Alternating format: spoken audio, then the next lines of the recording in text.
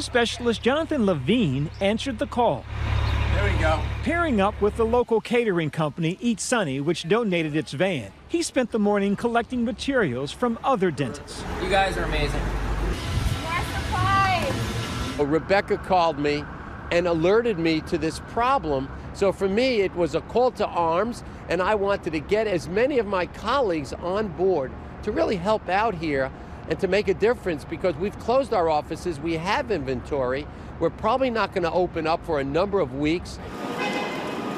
Levine's road trip ending here, at the Hospital for Special Surgery in New York City. Also delivering next week. The more the better, you know. To really help thwart this terrible foe, everybody has to do their part.